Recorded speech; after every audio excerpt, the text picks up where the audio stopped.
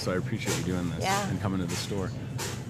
Well, this has been really fun. Okay. Okay, here we go. It's Hy-Vee today, an exclusive with Tony Tone. Uh, seated next to me is the governor of Iowa, Kim Reynolds. It's not that often that you get to say welcome to the governor uh, from the state that you live and work in, but it's Hi, Tony. Great to be here. Yeah, oh, it's great to be so here. Much. Yeah, um, this you're not a stranger to Hy-Vee's, right? I am not. I actually was a high V checker Yeah. when Kevin and I lived in Mount Pleasant. We had uh, three young girls, and uh, uh, I wanted to stay home with the girls, and but we needed the income to budget the uh, balance our budget, Sure. and I had the opportunity to work at Hy-Vee, and it was just a great, great, great employer. So, like, I've, I've only been here for a couple months. I'm still trying to figure out how to become an efficient bagger.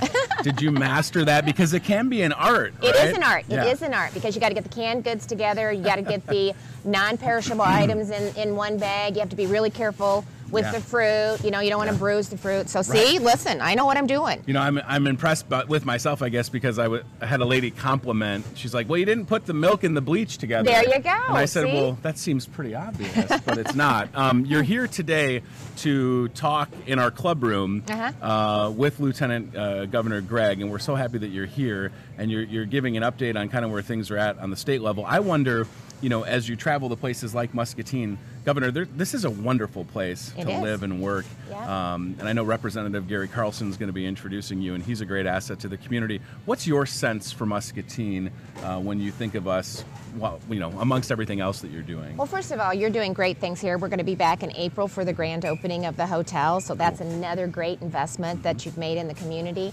And you know, we, we're, it's, we're taking the Unleashing Opportunity um, tour, is what we call it, and we just kind of do a uh, condensed version of the condition of the state. So it's an opportunity to talk about the great things that are happening in Iowa, just like here in Muscatine, and to talk about some of the policy that we're working on that can build on the great results that we're seeing in, Sure. in communities across the state of Iowa. Representative Carlson is doing a great job. He's been great to work with. Appreciate uh, the business perspective that he brings to the table.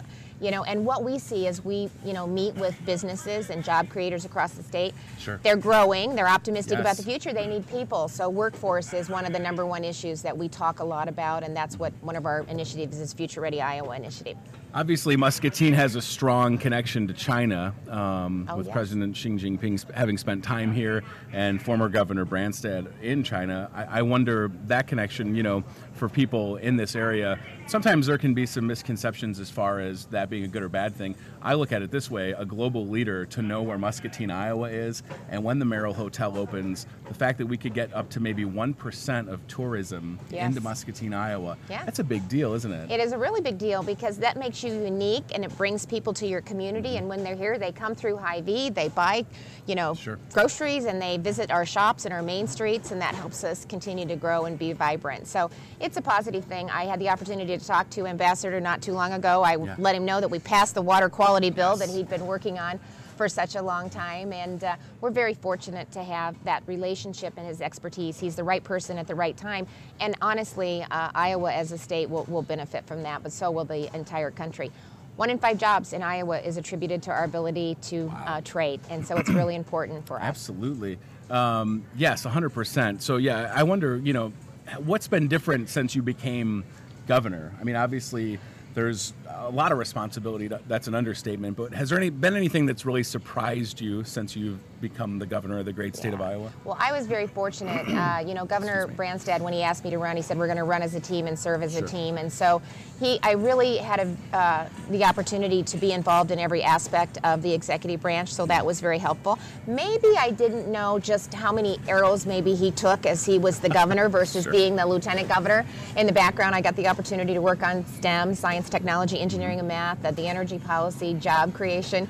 Um, so I was busy back there doing some of those things where I think he got to had to deal with some of the other um, issues. But I'm very blessed too to have. Uh, I have a great partner. Lieutenant Governor Adam Gregg is doing a great job. You don't do this alone.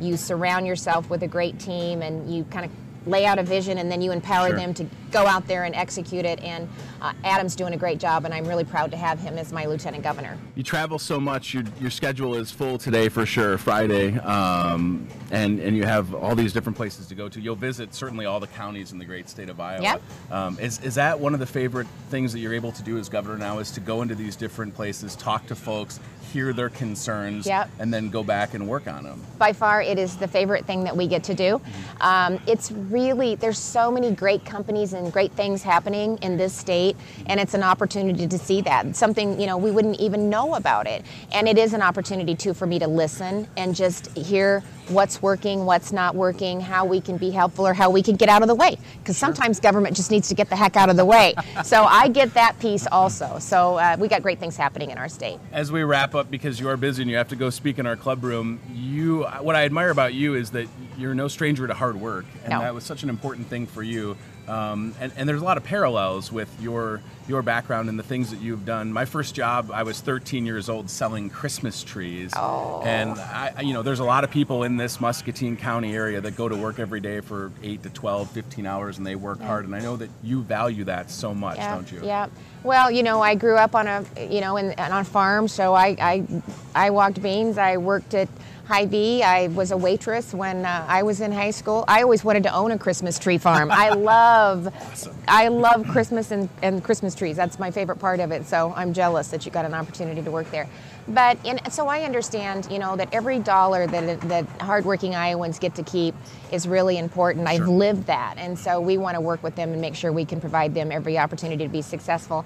And I tell you what, Hy-Vee is a great example of a phenomenal employer. They're one of our largest employers in the state of, of Iowa. They're in small communities all across this great state, and one of the major employers in these small communities. So, uh, very, very grateful to that helpful smile in every aisle. well, listen, Governor has to go because she has to speak in our club room. But I want to say thank you uh, for joining us, and uh, good luck with the rest of today. And you know, you probably have a busier weekend than most of us. So thank you so much thank for your you. time. You bet. And when you're back in April, maybe we'll sit down and do it again live from the Merrill. It's a wonderful Oh, that would be fun. facility. Yeah. Rebecca Kerwin Howe is going to be here next week, and her general manager. We're so excited to have that.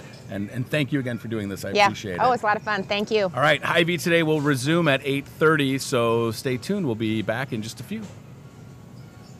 You so much. Oh, that is really cool that you do that.